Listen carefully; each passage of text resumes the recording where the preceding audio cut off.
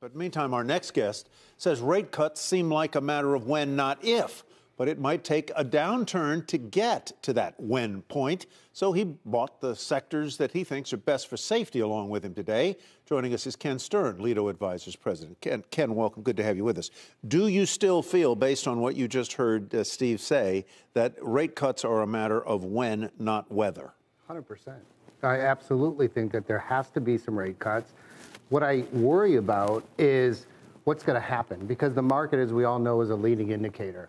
And what has been hoping and driving this market is the fact that employment has been so strong, and we know that. And employment being strong has saved, I think, a lot of pain. The market rallied so high last year while rates were going higher. If we see rates starting, starting to come down too fast, I think the market's going to spook. And it would be they would be coming down too fast because the market would be anticipating that the economy is in some right. distress, start, sputtering. That's exactly right. If we start seeing, this is the time to stress test. This is the time to take a step back and say we've got a lot going on in the world today.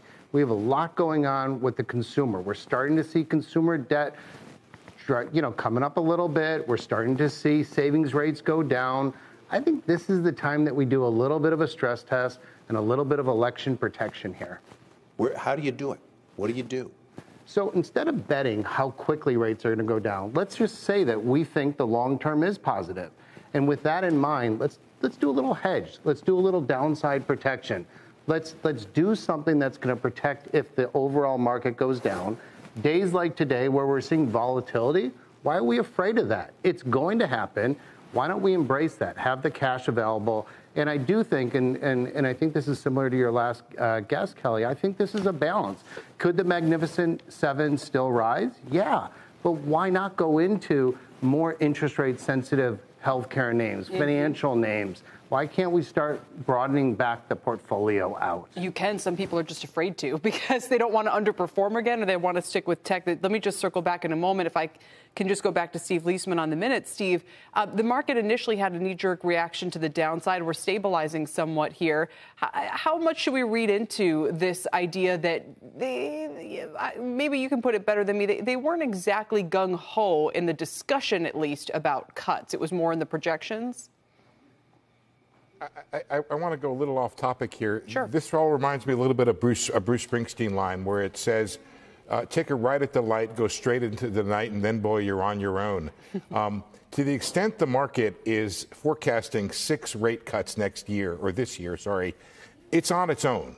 Uh, these minutes do not back that up, would be my personal opinion mm here. Mm-hmm. Um, I think the, the, the, the, minutes are backing up this idea that there's likely to be rate cuts this year.